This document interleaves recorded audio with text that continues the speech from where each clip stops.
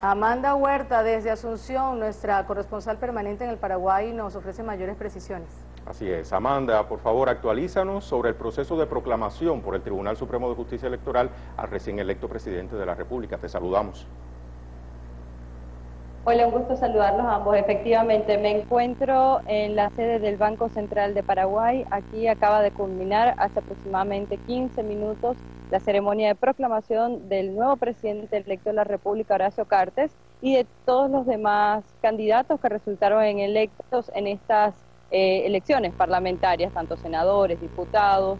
Los gobernadores serán proclamados en cada uno de sus departamentos. Podemos resaltar que en esta juramentación el discurso eh, central fue, estuvo a cargo del presidente electo Horacio Cartes. Él reconoció la alta participación de la ciudadanía paraguaya, la ardua labor del Tribunal Superior de Justicia Electoral, eh, habló de que la eliminación de la pobreza, la erradicación de la pobreza es su principal propuesta al país. Recordemos que Paraguay es un país que tiene más de la mitad de su población entre pobreza y pobreza extrema, así que estos fueron eh, puntos claves de su discurso. También habló de la integración latinoamericana y que su gobierno se va a sumar a esta integración en el Mercosur y en todos los más organismos que, de los cuales Paraguay es parte y sumarse a otros como la Alianza del Pacífico. Los grandes ausentes en esta ceremonia de proclamación son los senadores electos por el Frente Guazú, esta concertación de izquierda que lidera el presidente Fernando Lugo. Los cinco senadores electos estuvieron ausentes en esta ceremonia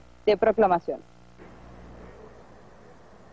Amanda, muchísimas gracias por el reporte. También vamos a estar al tanto de lo que ocurra en el Paraguay a partir de esta proclamación. Hemos dicho anteriormente que habrá otras instancias que certificarán la proclamación del presidente electo paraguayo y una serie de legisladores, vicepresidentes.